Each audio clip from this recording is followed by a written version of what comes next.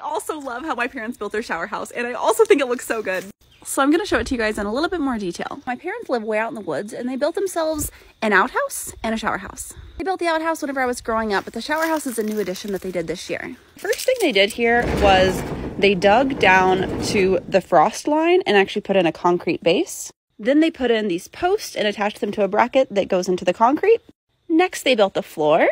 And for these beautiful walls, they used galvanized metal panels that you can find at like any hardware store.